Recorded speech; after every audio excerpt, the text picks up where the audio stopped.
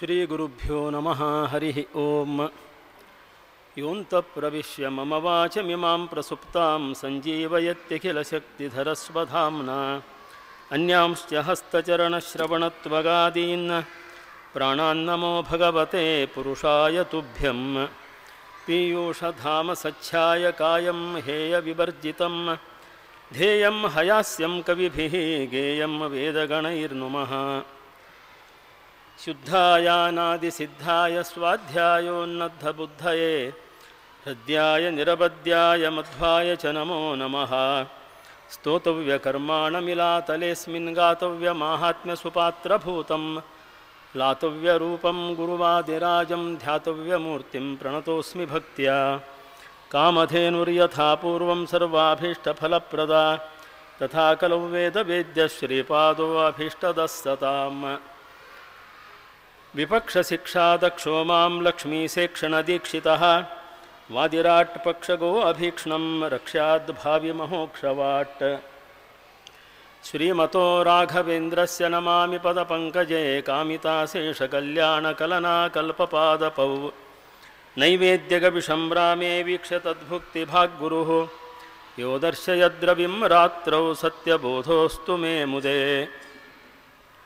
चिन्तामणिं स्वभक्तानां कल्पवृक्षञ्च कामदं स्वामिनं त्वां रघुप्रेमतीर्थं वन्देहभीष्टदं कोलव्यासहयग्रीवपदकञ्जमधुव्रतं वंदेहम वन्देऽहं प्रिय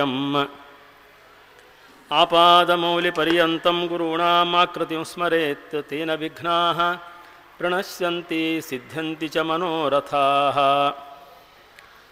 ಪರಮಪೂಜ್ಯ ಶ್ರೀಪಾದಂಗಳವರ ಪಾದಾರಬಿಂದಗಳಲ್ಲಿ ಸಾಷ್ಟಾಂಗ ಪ್ರಣಾಮಗಳನ್ನು ಸಮರ್ಪಿಸಿ ನೆರೆದಂತಹ ವಿದ್ವಜ್ಜನರನ್ನು ವಂದಿಸಿ, ಶ್ರೀಮದ್ ಬೃಂದಾವನಾಚಾರ್ಯರ ಆರಾಧನಾ ಮಹೋತ್ಸವ ಸಂದರ್ಭದಲ್ಲಿ ಅವರಿಗೆ ಅತ್ಯಂತ ಇಷ್ಟವಾದಂಥದ್ದು. ಯಾಕಂದರೆ ರಾಜರೇ ಬೃಂದಾವನಾಖ್ಯಾನದ ನಾಲ್ಕನೇ ಅಧ್ಯಾಯದ ವಾದಿರಾಜ ಭಟ್ಟ ಪ್ರಕರಣದಲ್ಲಿ ಒಂದು ಮಾತನ್ನು ಹೇಳ್ತಾರೆ. ಜನೈರಭೇದ್ಯ ವಿಭವಂ ಸ್ಫುಟೀಕರ್ತು ದ್ವಿಜಸ್ಯ ಮೇ ಕುರುಮದ್ವಚನಾತ್ತೋಷಂ ತತ್ತೋಷೇಹಂ ಸುತೋಷಿತ ಅಂತ। ಆ ವಾದಿರಾಜ ಭಟ್ಟರು ಬೃಂದಾವನಾಚಾರ್ಯರಿಗಿಂತ ಆಶ್ರಮದಲ್ಲಿ ಜ್ಯೇಷ್ಠರು।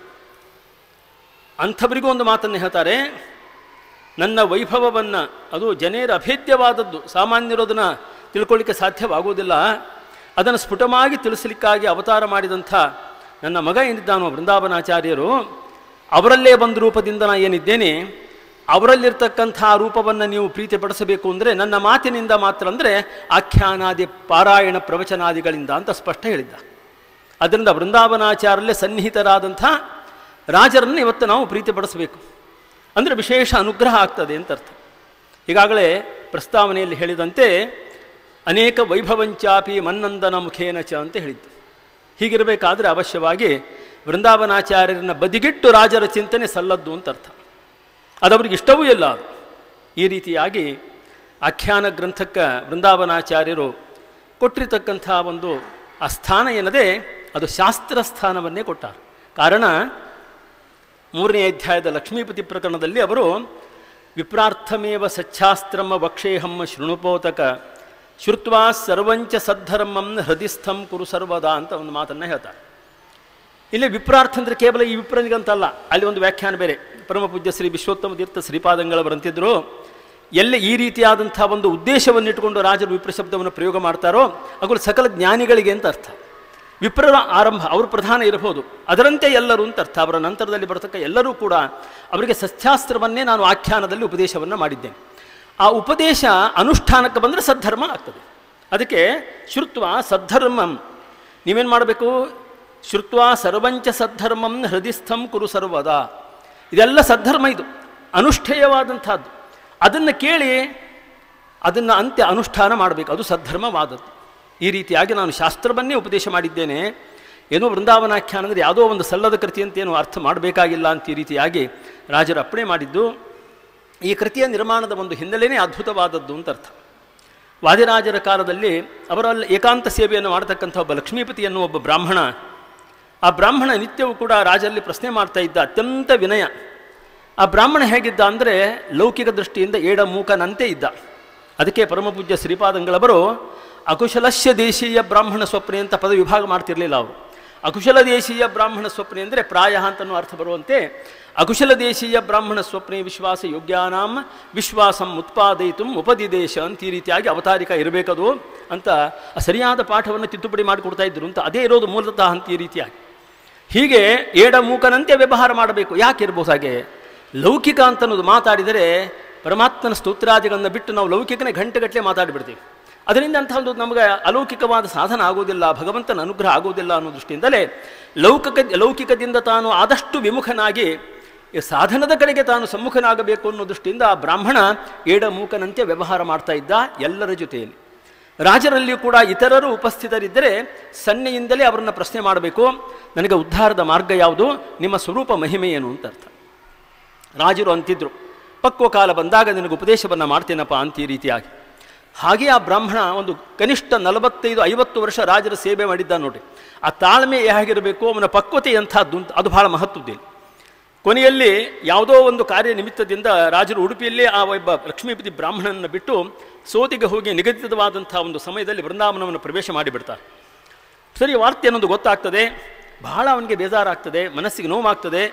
ಆದರೆ ಏನು ಅನ್ಕೊಳ್ಳೋದಿಲ್ಲ ಅಂದರೆ, ನಮ್ಮ ಗುರುಗಳು ಕೈ ಕೊಟ್ಟರು ನನಗೆ ಅಂತ ಅನ್ನಲ್ಲ ನೋಡ್ರಿ. ಅವನ ವಿಶ್ವಾಸ ಎಂಥದ್ದು.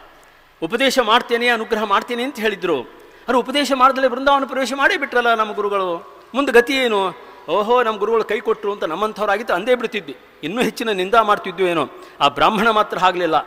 ನಮ್ಮ ಗುರುಗಳು ಪರಮ ಸಮರ್ಥರಿದ್ದಾರೆ ಒಂದಿಲ್ಲ ಒಂದು ಕ್ರಮದಿಂದ, ಒಂದು ಪದ್ಧತಿಯಿಂದ ಉಪದೇಶ ಮಾಡಿ ಉದ್ಧಾರ ಮಾಡ್ತಾರೆ ಅನ್ನೋ ಭರವಸೆಯಿಂದ ಸೋದೆಗೆ ಹೋಗಿ ಆ ವೃಂದಾವನ ಮುಂಭಾಗದಲ್ಲಿ ಹೊರಳಾಡ್ತಾ ಇದ್ದಾನೆ ಅಂತ ಅರ್ಥ. ಅವರ ಅನುಗ್ರಹ ಪಡ್ಕೋಬೇಕು ಅಂಥೇಳಿ. ಗುಣವೃತ್ತಮಾಲಾದಲ್ಲಿ ಅದನ್ನು ಹೀಗೆ ವರ್ಣನೆ ಮಾಡ್ತಾರೆ.